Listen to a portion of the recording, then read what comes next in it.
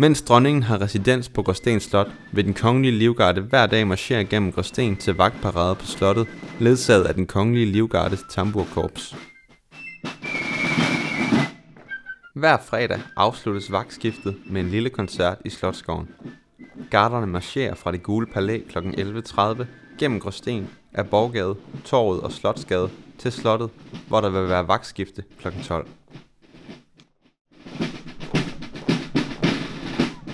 Siden Frederik 9. og hans hustru, dronning Ingrid, i 1935 overtog brugsretten til Gråsten Slot, har det fungeret som sommerbolig for den kongelige familie. Frederik den 9. og dronning Ingrid modtog Gråsten Slot i bryllupsgave og tilbragte efterfølgende deres sommer på slottet.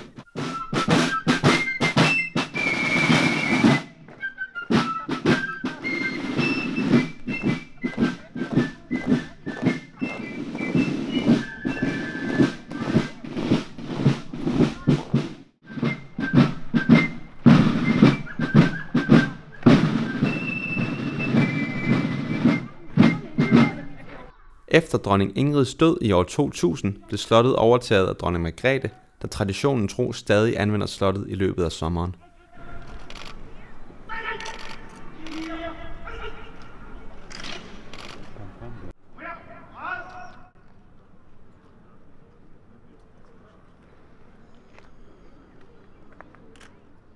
I mange år har kongefamiliens sommerferie på Gråsten Slot også været lige med den årlige sommerfotografering – dette har de seneste år dog ikke kunnet lade sig gøre, og det er endnu uvist om sommerfotograferingen på Gråsten Slot, som dronning Ingrid først gjorde til en tradition, vender tilbage.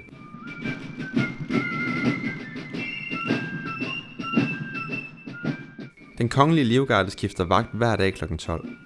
Vagtparaden starter 11.30 og akkompagneres af den kongelige livgardes musikkorps. Den kongelige livgarde blev den 30. juni 1658 oprettet af kong Frederik den 3 der var søn af kong Christian den 4. Frederik den 3. havde to opgaver til regimentet. De skulle beskytte landets øverste myndighed, kongen, og de skulle indgå som et infanteriregiment i den danske hær. I dag varetager Livgarden stadig de to opgaver. Livgarden består af tre livgardebataljoner, vagtkompaniet og musikkorpset. Dronning Margrethe ankom den 16. juli til Sønderborg Havn med kongeskibet Dannebro for at forlægge residens på Gråsten Slot. Under hendes majestats ophold i det sønderjyske deltager hun i mange forskellige arrangementer. Samme dag som hendes ankomst besøgte hun Gråsten Torv. Den 21. juli fik dronningen besøg af sin søster, prinsesse Benedikte, der sammen med dronningen deltog i festgudstjeneste og afsløring af ny messehal, skabt af dronningen. Samme dag modtog dronningen og prinsesse Benedikte Gråsten Ringriderforenings optog. Den 26. juli besøgte dronning Margrethe Sønderborgs nye havnefront, og den 3. til 6. september aflægger dronningen officielt besøg i delstaten Slesvig-Holsten og besøger det danske mindretal.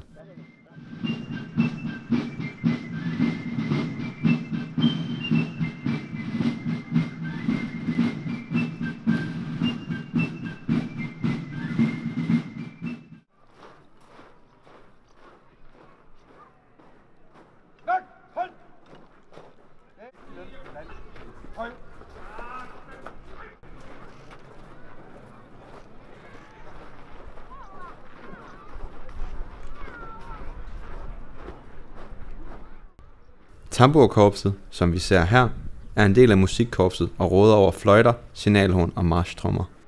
Musikkorpset består af 36 professionelle musikere, der er ansat i forsvaret på fuld tid til at levere musik til kongehuset ved vagtskifter på majestatens resident, tafelmusik på slottene og ved statsbesøg og modtagelser.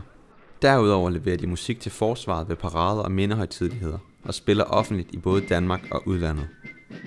Den kongelige livgardes musikkorps er verdens ældste orkester af sin art og kan føre sin historie helt tilbage til 1658, hvor den kongelige livgarde blev dannet.